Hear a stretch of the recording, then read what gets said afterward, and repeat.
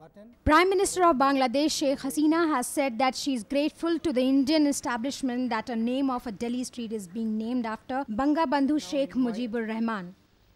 The Honorable Chief. Prime Minister Modi and I agreed that greater connectivity is vital for the development of the region.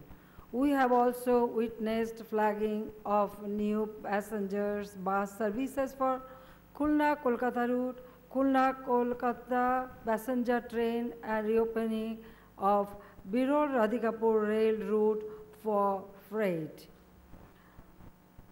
We jointly released Hindi version of unfinished memoirs of Bangabandhu Sheikh Mujibur Rahman. I would also appreciate naming of a road in New Delhi after Bangabandhu Sheikh Mujib. I am really, Prime Minister, grateful to you and the External Affairs Minister, Sushma Swaraj, she chose the road. So thank you very much and thanks to friends of eh, all our in Indian friends.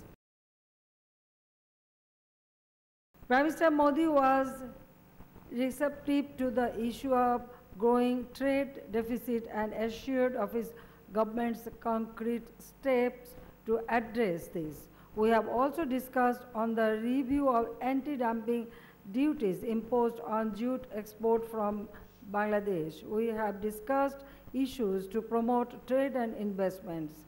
We have discussed initiatives undertaken to further strengthen cooperation in the power and energy sector.